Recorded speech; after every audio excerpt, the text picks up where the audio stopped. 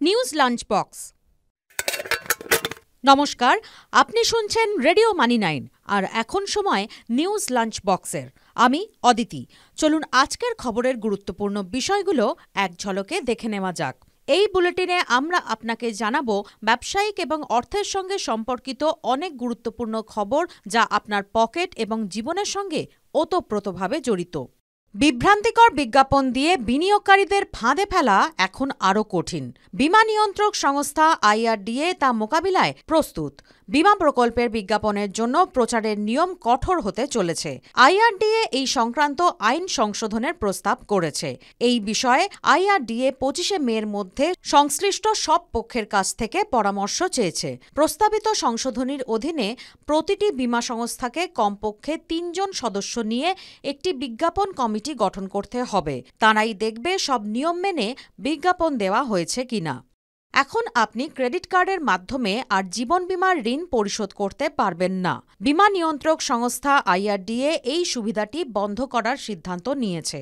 IRDA এই নিয়ে বিমা সংস্থাগুলির উদ্দেশ্যে নির্দেশ জারি করেছে।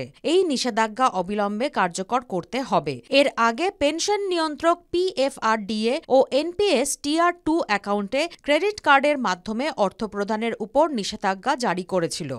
Global index service provider MSCI Adani total গ্যাসের ফ্রি ফ্লোট পঁচিশ শতাংশ থেকে কমিয়ে চোদ্দ শতাংশে এবং আদানি ট্রান্সমিশনের ক্ষেত্রে তা দশ শতাংশে নামিয়ে এনেছে। ফ্রি ফ্লোট বলতে বোঝায় পাবলিক ইকুইটি মার্কেটে আন্তর্জাতিক বিনিয়োগকারীদের কেনার জন্য বকেয়া ব্যালেন্স। এমএসসিআই এই দুটির ফ্রি ফ্লোট কমানোর সিদ্ধান্ত নিয়েছে। অর্থমন্ত্রক বাইশটি আর্থিক সংস্থাকে গ্রাহকদের আধার যাচাই করার অনুমতি দিয়েছে। এই বাইশটি সংস্থা এখন গ্রাহকদের নম্বর ব্যবহার করে গ্রাহকদের পরিচয় যাচাই করতে পারবে। এই সংস্থাগুলি হল Godrej finance, Amazon pay, Birla housing finance Tata motors finance solution, IIFL finance এবং Mahindra rural housing finance limited.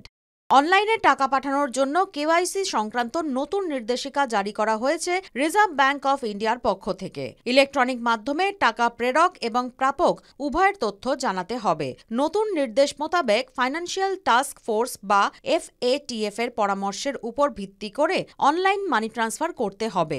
নতুন নিয়ম পিপিআই কার্ড, ক্রেডিট এবং ডেবিট কার্ডের উপর লাগু হবে না। দেশে ডিম্যাট অ্যাকাউন্ট খোলার হার দু হাজার কুড়ির ডিসেম্বর থেকে এখনও পর্যন্ত সময় সর্বনিম্ন স্তরে নেমে এসেছে। এপ্রিল মাসে মাত্র ষোলো লক্ষ অ্যাকাউন্ট খোলা হয়েছিল। দু হাজার বাইশ তেইশ অর্থ বছরে প্রতি মাসে গড় কুড়ি লক্ষ ডিম্যাট অ্যাকাউন্ট খোলা হয়েছিল। গত আঠারো মাসে বাজারে ব্যাপক ওঠানামার কারণে বিনিয়োগকারীরা বাজার থেকে দূরত্ব বজায় রাখছেন বলেই বিশেষজ্ঞরা মনে করছেন। পাশাপাশি ভালো আইপিও না আসার কারণে বাজারের প্রতি বিনিয়োগকারীদের আকর্ষণও কমে গিয়েছে। শেয়ার বাজারের পরিবর্তে অন্যত্র ভালো রিটার্ন পাওয়ার কারণেও বিনিয়োগকারীদের উৎসাহ কমে গিয়েছে বলেই মনে করছে সকলে। আজকের নিউজ লাঞ্চ বক্স এই পর্যন্তই। শুনতে থাকুন রেডিও মানি নাইন। ব্যবসা এবং অর্থ সংক্রান্ত খবরের সর্বশেষ আপডেট পেতে এখনই মানি নাইনের মোবাইল অ্যাপ ডাউনলোড করুন। পাশাপাশি চোখ রাখুন মানি নাইন বাংলার সোশ্যাল মিডিয়া পেজে। News lunch box.